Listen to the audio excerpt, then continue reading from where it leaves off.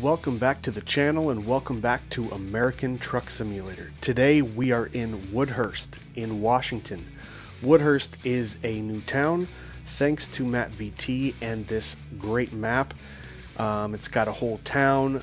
It has um, obviously a house and a shop and so you can do all that stuff, fill up, uh, fix your truck, fix your trailer, uh, get fuel, rest, do all those things.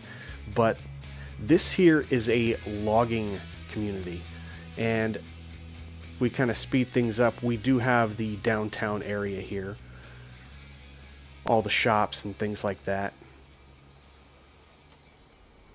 restaurants, stores, but it also has quite a few places where we can actually pick up loads and drop off loads. I'm going to go ahead and show you the map. And where we are right now, so they've got Georgia Pacific. That is a, I guess it's a paper producing company manufacturer. That's actually where we're going to be picking up. You can do heavy, uh, heavy haul with Liebherr, uh, Cornejo.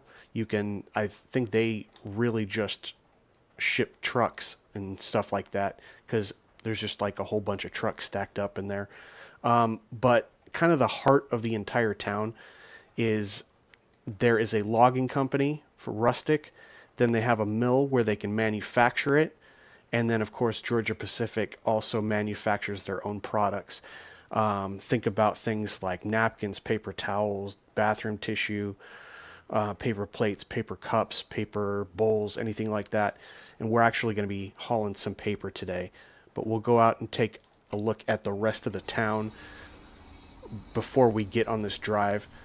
So this is Cornejo right here. I'm not sure exactly what sort of store it is. Or maybe it's, you know what, maybe it's just like a truck repair. Um, the Liebherr is over there for your heavy haul stuff.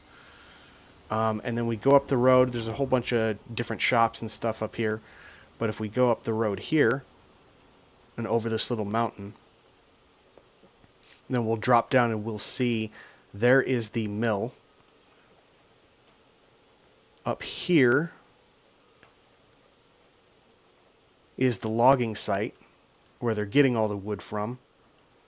And then over here is the actual little farm slash yard. So you can't actually, whoa, sorry about that. So you can't actually pick up any loads here, but you have the surrounding businesses to do that. So you've got the shop, you can fuel up over here. This area is where you buy the yard to check my map again. Yeah, just right over here is where you can rest. There is a little shed. There is the uh, house itself. Got a Hummer sitting in there. So pretty cool little yard from MattVT. It just released a day or two ago, and we're going to feature it. So let's get to the drive. As I've already said, we're uh, we got to go up over this hill and this cool little bridge that he put in. It's pretty cool um, head over to Georgia Pacific where we can they're you know they're loading up the trailer right now and we are headed over to the dollar store in Wenatchee. So it's about a five and a half hour drive game time. I'm going to be speeding things up because we're already spending so much time as it is uh, going through this new yard from MattVT. And we're all set up. Let's see if they actually have it loaded. But this is, this is going to be our ride for today.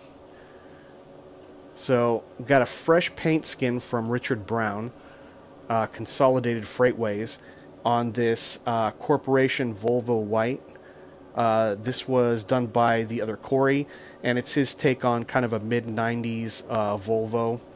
And uh, have to use Richard Brown skins because it's absolutely great. We're matching it up with the Timpte Super Seal uh, trailer from Smarty's um, because Richard Brown has also done that skin, and that is why the colors match absolutely perfect. So, kind of makes sense. We'll do like a mid 90s truck with a company that was running in the mid 90s, actually ended up uh, declaring bankruptcy early 2000s. I think it was 2002 or 2003. So, we're kind of playing the role right now. So, let's get in and go ahead and get ourselves over to. Where are we going? Uh, to Wenatchee at the dollar store. We are carrying 24,255 pounds of mixed product from Dixie paper plates, paper bowls, and paper cups. So that is what is going on today. Let's go ahead and get her started. The American people are counting on you to drive. Let's go. All right. Let's go ahead and get the windows down, lights on. Lights are already on, and we'll crank her.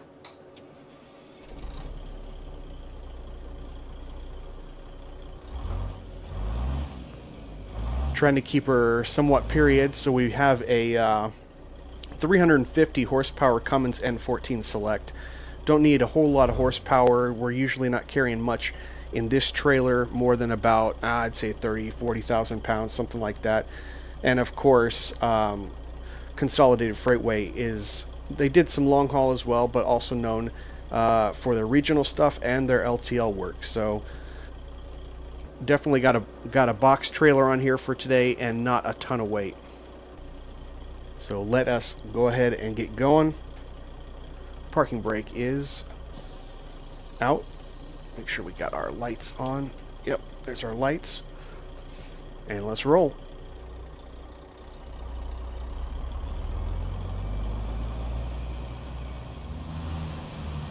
Sorry about that little glitch right there. I didn't even get about two or three feet and I realized that I had an issue with my TrackIR, which allows me to look around from left to right and scan everything just by turning my head.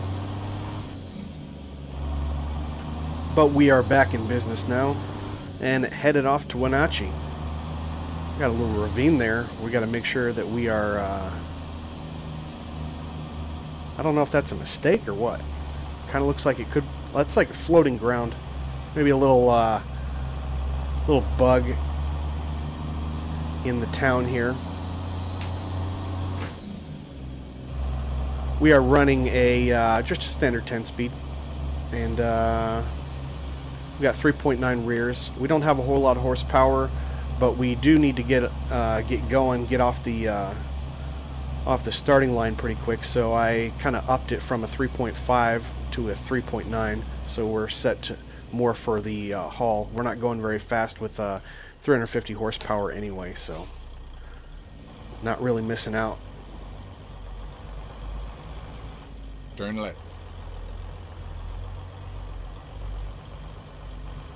Don't need to be that careful trying to get out of here. Let's back up a little bit.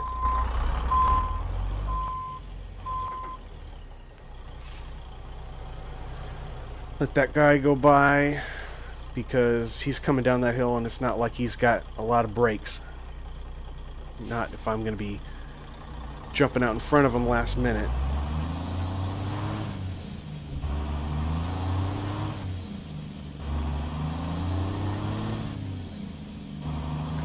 So yeah, I was uh, kind of I was looking around the town uh, when I first got it yesterday. I was trying to figure because there's so many businesses that you can uh, run jobs out of here, and I thought, yeah, it kind of makes sense. It's a logging town. Probably the most obvious thing is someone's going to put a logging trailer on here, and I think that'd be cool too. Or I'll get a, you know, get a step deck and run some lumber. In 400 like, meters, turn left. Like to a Home Depot or something like that and I was thinking it's what's so cool about this town is it it really is mirrored after what a real town would be like in terms of its industry. Like if you're a logging town, it makes sense that you have some sort of mill to be able to process that, turn it into lumber, um, logs, furniture, whatever. But then they also have the component of having a manufacturer like Georgia Pacific in here uh, that can take all those products and do runs like we're doing today. So I decided, all right, no logging trailer, no step deck. Let's go ahead and put this uh, put this box truck, this box trailer on here, and it kind of lined up perfectly, to be honest with you, because Richard Brown just um, updated the skin on this. Uh, this corporation Volvo white truck. Continue straight. By the way, this truck is free. It is on Trucky. I'll have a link down in the description below. The trailer can be found on the Steam Workshop, also free, and the skins that go uh, that correspond to them by Richard Brown. you can find on his Facebook page. I'll leave a link down below, but they are also free. He just asks that you please do not share them and don't even drop the link anywhere. It's uh, he wants everything directed towards Facebook, and that makes a whole lot of sense. The guy puts a whole lot of work uh, into all of these skins, so let's just let's just listen to what the guy says, right? um, I guess people weren't really. Uh, I don't know if they were doing anything nefarious or anything like that, or sharing links or hosting it on other sites, but that's too bad, especially for someone who put in so much time to get us these skins, and they're completely free, like I said. In 400 meters, turn right.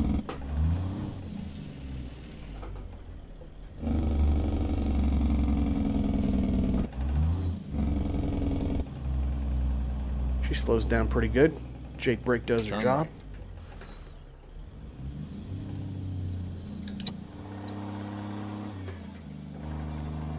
That's when you know that the truck and trailer were done by the same skinner.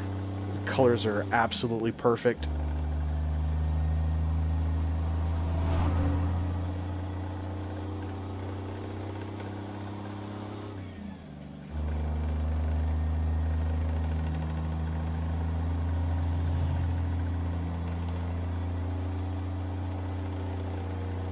And you know, the one thing that I meant to do, because I was actually going to go ahead at first and do a logging trailer, um, and I was going to use the logging trailer and a different truck, and it was going to be in a completely different profile.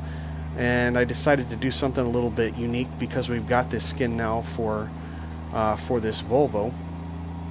But the one thing that I forgot to do, because I looked up the weather and I know that it is snowing or about to snow up near Spokane, which is a little bit, the, this is a little bit west of Spokane um, on the map. So I figured, you know, it's probably going to snow.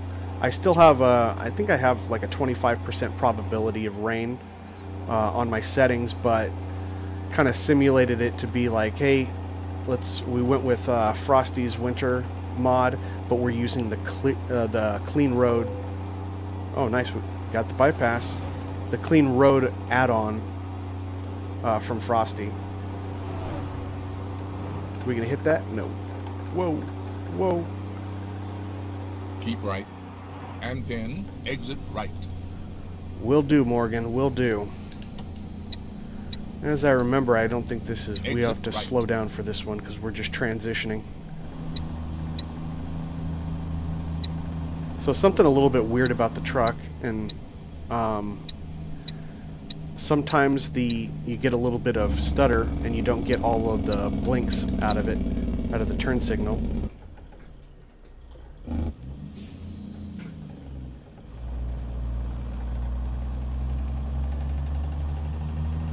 The uh, the truck, by the way, in case I didn't mention, is from the other Corey. It is a free truck on Steam. Um, no, on Trucky. Yeah, I told you. I told you where to get it, but I didn't tell you who did it. Um, so, considering the truck is free, this is actually a pretty decent truck, and nothing else that I've seen, kind of of this uh, time period, like mid '90s. So, hats off to the other Corey. Great job on it. Continue straight.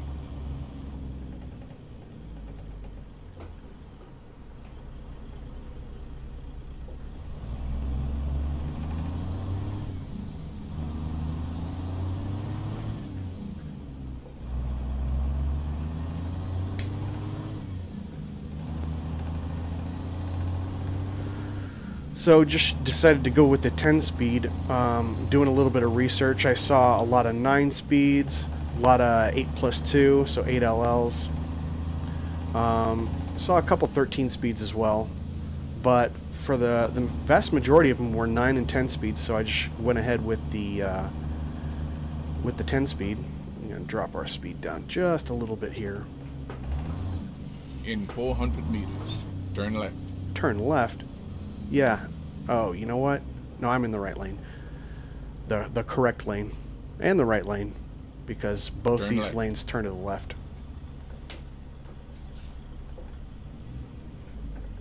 Let's get another look at this truck here. really time period. Looks really cool.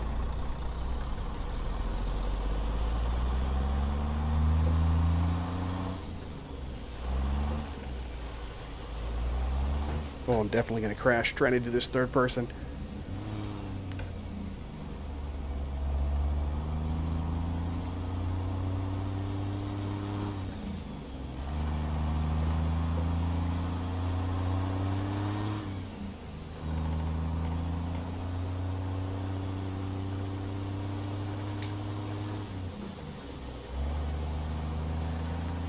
go into the bridge. We'll just just kind of hop back in the cab before we cr start crashing. Continue straight. It's a pretty tight turn there anyway.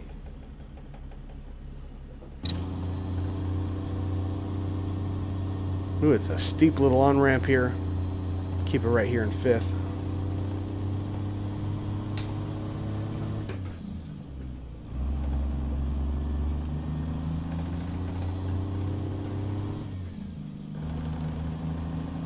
fifth. zoom out on the map a little bit.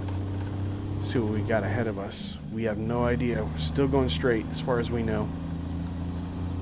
See if we can merge here pretty soon. I have to wait for these guys to go by. Yeah, we can get over now.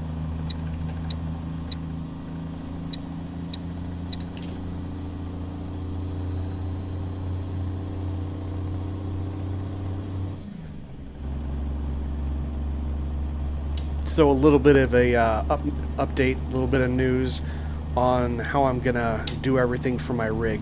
I think what I'm gonna do is I am gonna go forward with building a dashboard. Probably just build it out of like plywood, so it's you know not super heavy, but um, I don't really have access to an existing dashboard that I can pull like out of a truck or something like that. Keep right, and then exit right yeah, that's not going to happen. Exit right. Well, you got to let me through, guys. I find it absolutely crazy that the AI, when you jump out just over the line at a stopped, at a light or something, or right at an intersection, you cross the line by two inches and then cross traffic stops. But when you have a blinker on, they have no idea what's going on. Anyway, um, so yeah, I'm probably going to build a... It's not going to be like a full dashboard. It's probably just going to be a section that is holding um, holding a few gauges. And what I've decided to do is go with Sim Projects uh, for now uh, because they have a board called the Pro Gauge board and it makes it a lot simpler to plug a bunch of things in. I don't have to worry about doing a crazy amount of soldering.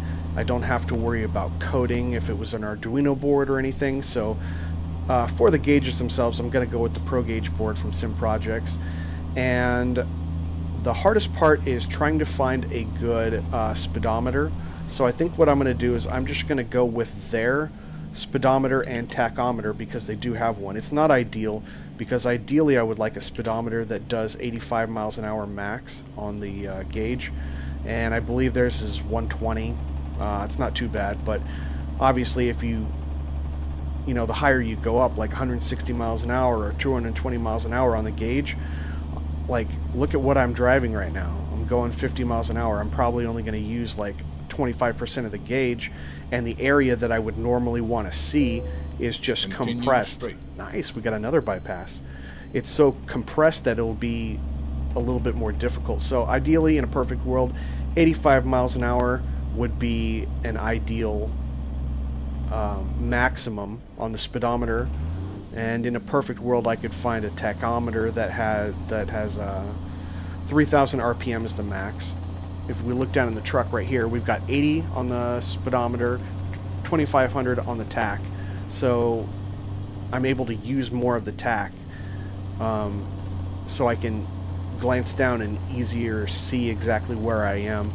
But I think for simplicity, because I don't know how to deal with a lot of uh, third-party gauges for speedometers, and a lot of them are GPS enabled, which means I don't have all the wires at my disposal. And I'm not going to try to rig something. Um, I don't have that prerequisite. So I'm going to go with the speedometer and the uh, and the tachometer from Sim Products as well as their Pro Gauge board. And then I'm going to probably add on to that afterwards and look at the other gauges like fuel, oil temperature, water pressure, um, uh, uh, PSI gauge, all those kinds of things. I can add those on later around the around the display, and I can still plug those in up to six different devices in addition to the speedometer and tachometer. So I'm just gonna find uh, maybe I'll only do two at a time and I'll kind of build it up. But the board makes it so much easier and there's no programming in it like an Arduino, which I'm learning now, but I know enough to realize that I don't know what I'm doing. And I'm sure I can find some online sketches where I can just copy some code. But let's make this, a, you know, tackle one problem at a time. And so I'm just really going to make the hardware and building the box be the primary thing. As far as a button box goes, I'm probably going to buy one pre-done. I do want to build one at some point, but I don't have the skill to do that currently. So I'm just going to get one that's already pre-built, and I'm probably going to see how I can build that into the existing um, right side of the dash that is going to hold the gauges. So that'll kind of be my my MacGyver to it. Is the box that can that contains everything. Oh, right in between gears. There we go. So that is the update on that. I'm not entirely happy with the gauges I'm going to get, but it doesn't mean that I can't replace them later when I know a little bit more of what I want. And in the meantime, the see the good thing about going with the gauges from Sim products or Sim projects rather is they're actually in 400 meters. Turn left they are comparatively cheaper than real world gauges. Once you start looking into gauges where you get like the ideal maximum speed, ideal maximum RPM on a, on a tachometer, and you have backlighting and all these things, then you're you could Very be nice. looking, you know, for a, a minor gauge, you know, probably in like the anywhere in the 60 to 90 dollar range. And as we stall, we'll go ahead and start it first. And we stalled again. No? Yep. Having a tough go at it. Alright, let's get rolling. Oh, that's why. Didn't drop to the lower range. I'm an idiot.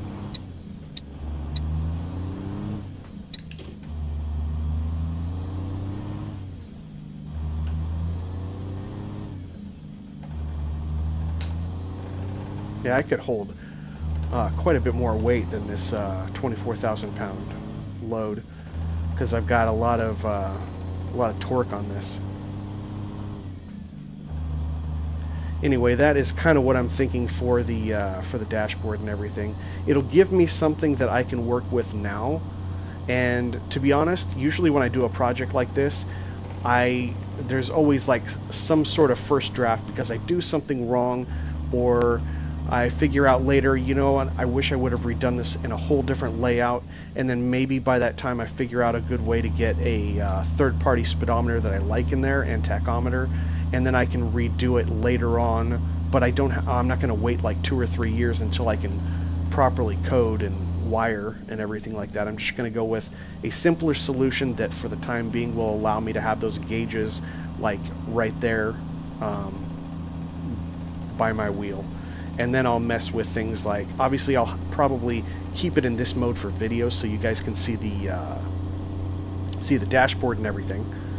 But then I'm also going to have another mode when I kind of drive off camera where I zoom in lose the steering wheel and the end of my my real physical dashboard is just going to be the hood of the truck. So kind of looking forward to that and uh, kind of happy that, that there is a solution like sim projects out there. Again I wish the gauges were I wish they had a few more gauges um, but you know that's kind of what you have to deal with when you don't understand a lot about the hardware and the wiring and all of the coding and stuff like that. I mean see things like on Facebook and various discords and how these guys have some amazing rigs, but they either have a background in electronics or they have a background in automotive, so it's a lot easier for them to already understand this kind of thing, how to take a real working gauge and convert it electronically and things like that. So I don't have that background, so I'm going to have to settle with what is more or less pre-done. I will have to wire it myself, but that Pro, uh, Pro Gauge board it makes things so much easier.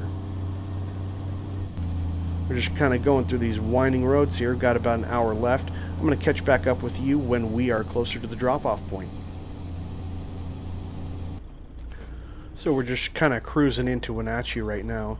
And if you notice, if you guys haven't tried this mod, the lights, the street lights, I have that orange street light glow mod in there. Look, makes it look a little bit more realistic at night instead of like that white light. Continue straight. Oh, are you kidding me? This is a short light. This is the uh, third light on this street that I've hit, and it's kind of crazy, but, you know, just trying to show you guys the orange light on here and how much of an effect it really has makes it look a little bit too realistic. Some people say it's a little bit overdone, it's a little bit too saturated with orange. I think it's uh, I think it's pretty accurate because these street lights are uh, they are really orange in person, and at night you don't have a whole lot of other light going on, so... Oh, don't make the same mistake here.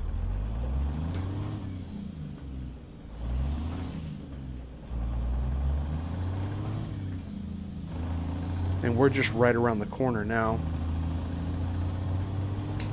from uh, the Dollar Tree, where we're dropping these uh, Dixie products off.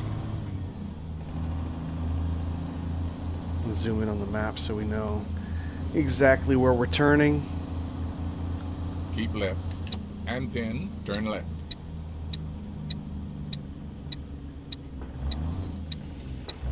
Turn left.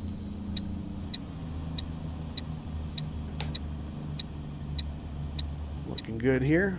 Not like we have a choice with those X's of where we're going. Missing a lot Turn of gears here. And here we are. You've arrived. It's been my honor and duty to see you through this mission. Well, thank you, Morgan. I really appreciate it. Get out and have a look. What's going on out here? See if our trailer's gonna. Oh, we're gonna be fine. We're not gonna be fine unless we turn a little bit more, though. There's the Dollar Tree and parking in the back. They have us going up to the dock or not. Go and get our four ways on. Windows down. Also, one other thing is there's no sound for the, uh, there's no audio on the window uh, animation. Oh, you know what? They actually have us not going into a dock, we're pulling straight in to the left. If we can make that turn. I don't know. I think I may have started it too late. Yeah, I did. Go ahead and hit the horn. I think we're going to have to back up again. It's one of those parking spots that it looks pretty easy. But because you've got this uh, fenced off area to the right, and you don't have a whole lot of room to make a wide turn, a lot of times I end up just backing after I get through these lines.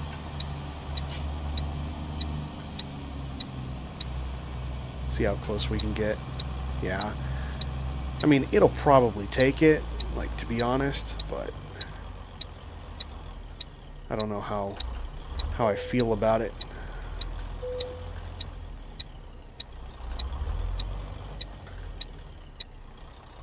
Yeah, let's pull up now. Overcorrected just a little bit too much. We'll go ahead and back it up. Looks like we're pretty lined up, though. That way we're looking nice and neat between the lines.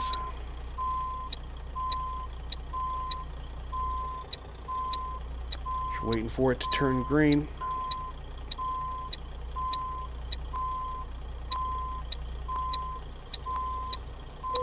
There we are. Alright, parking brake on. Windows up. We're going to keep the four ways on. Parking lights on only. And windows are up, so ignition off. And welcome to Wenatchee. Thanks for uh, riding along with me, delivering some uh, Dixie cups. Let me know.